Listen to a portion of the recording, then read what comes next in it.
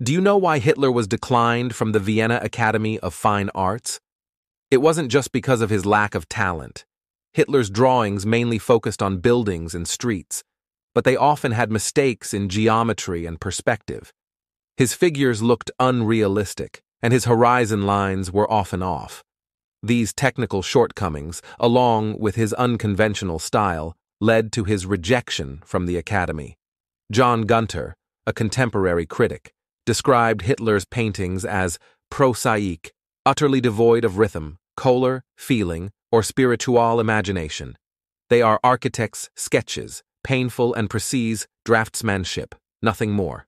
The directors of the Academy of Fine Arts Vienna, who rejected Hitler's application, noted that he struggled to draw people.